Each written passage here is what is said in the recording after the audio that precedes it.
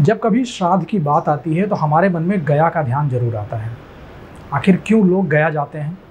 क्यों ये माना जाता है कि गया में जाकर अगर आप अपने पितरों को वहाँ पर उनका पिंडदान करेंगे, वहाँ पर तर्पण करेंगे तो ज़्यादा लाभ मिलेगा। या उसका महत्व तो क्या है आखिर? क्यों ज़रूरी है गया जाना? और गया का जो क्षेत्र है, वो क्यों महत्वपूर्ण है? पितृपक्ष के नज़रिए से इसी विषय पर हम बात करेंगे और जानेंगे कि गया का महत्व तो क्या है।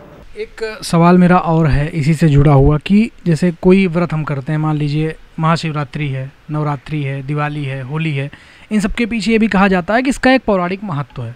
तो क्या पितृपक्ष का भी ज़िक्र कहीं या इसका कोई पौराणिक महत्व उन दिनों में कहीं मिलता है?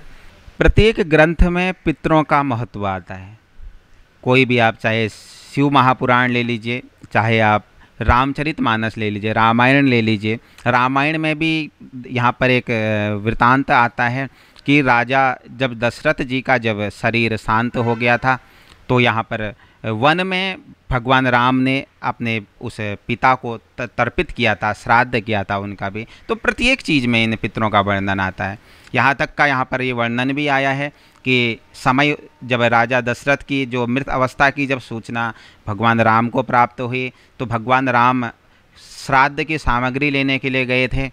और जब समय कुछ अधिक होने लगा था तो राजा दशरथ जब माता सीता को देखने लगे तो माता सीता ने गया, जो तीर्थ है, उस गया वाले स्थान पर माता सीता ने भी उनके निमित्त पिंडदान किया था। तो प्रत्येक शास्त्र में इसका वर्णन, अगर हम शास्त्र को गहनता के साथ इनका अध्ययन करें, और आप देख लीजिए, अगर हम कोई भी कर्म अपने घर में शुरू करते हैं, कोई भी पूजन, अर्चना, ध्यान, वंदना होती है तो सर्वप्रथम उसमें नांदी मुख श्राद्ध किया जाता है।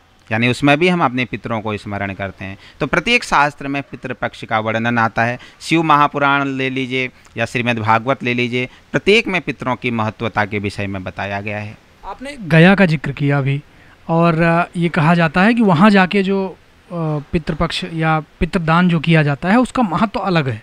तो ये गया आखिर वही स्थान क्यों है? और वहाँ जाने का अगर आप वहाँ जाके कर रहे हैं और घर से कर रहे हैं तो दोनों का एक फ़र्क क्या है?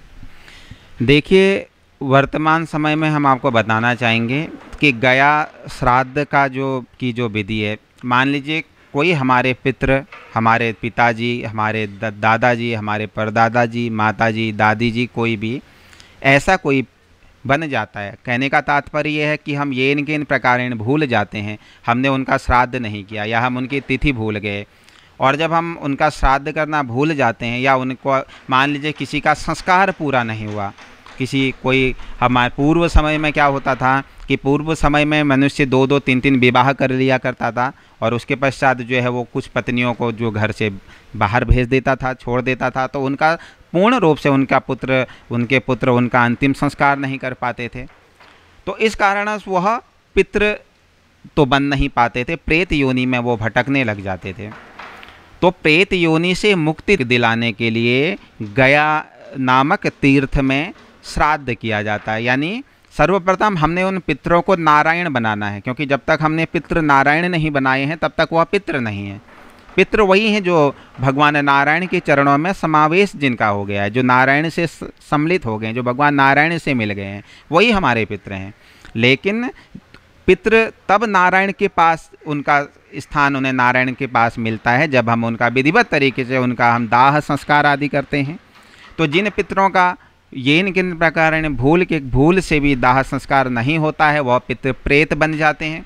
तो प्रेत योनि से मुक्ति दिलाने के लिए गया में श्राद्ध किया जाता है और तत्पश्चात गया में श्राद्ध करने के पश्चात विधिवत तरीके से घर में उनका श्राद्ध किया जाना चाहिए। धर्म क्या है? धर्म कैसे चलता है? धर्म से जुड़े सारे सवाल और उनके जवाब आपको यही मिलेंगे। आप हमारे साथ जुड़े रहिए और देखते रहिए डेली इंसाइडर का स्पेशल प्रोग्राम धर्मपथ।